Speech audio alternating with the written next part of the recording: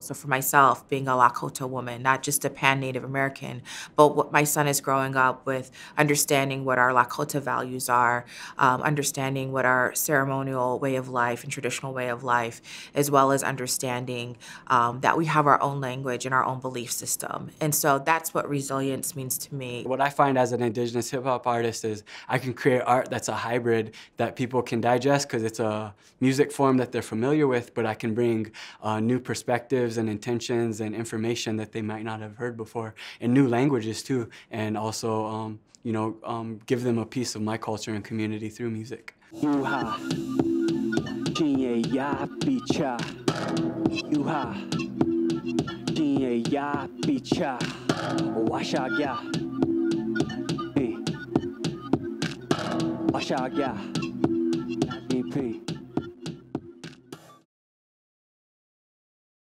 What we learned through our research is, you know, that that erasure of Native peoples that is really perpetuated by pop culture, by media, and also K through 12 education, of which 90, almost 90% of the schools in this country don't teach about us past 1900.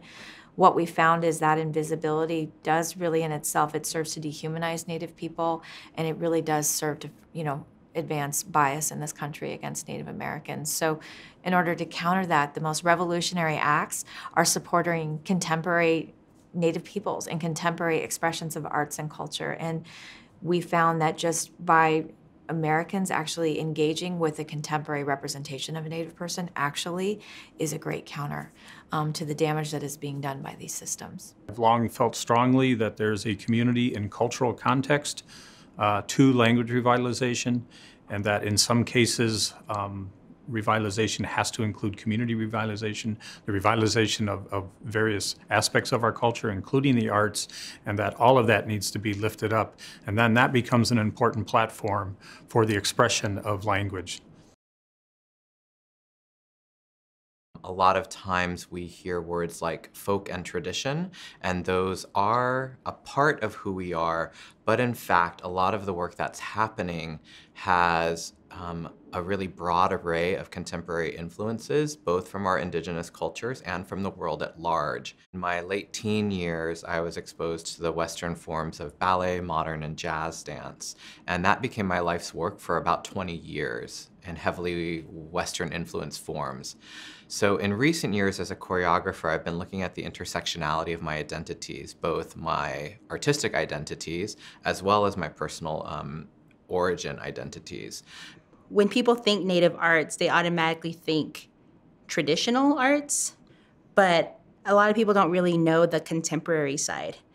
of Native arts. Um, you know, art making that is being done by a lot more of the younger generation that focus, I think, a lot more on, on indigenous issues, things that are happening within Indian country, but also things that are happening just with our in within our country in general, and oftentimes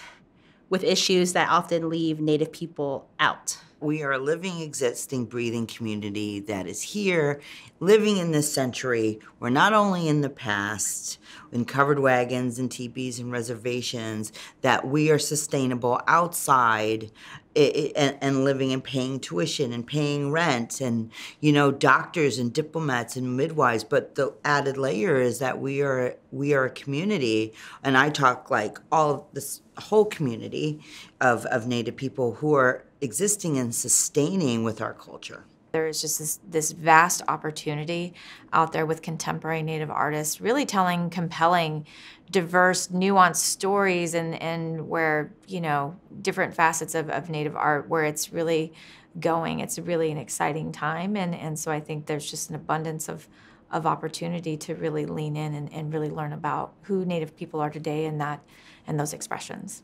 Something like this, a Native Arts and Culture convening, is so important because it focuses on yes on native arts but it also focuses on the research. It also focuses on the communities and how we're interacting with those communities communities. You know it also looks at the languages the you know the language issues that we have. Being able to see that legacy to be connected to it to feel it to see it to see it in action to see my elders speak about the elders that they had and to know that the work they're doing and the work i'm doing and the work we're doing together is so that, you know, we're thinking seven generations down the line. We don't just, that's another thing about, I think, indigenous artists and indigenous communities is we are constantly thinking of the past, the present, and the future at the same time.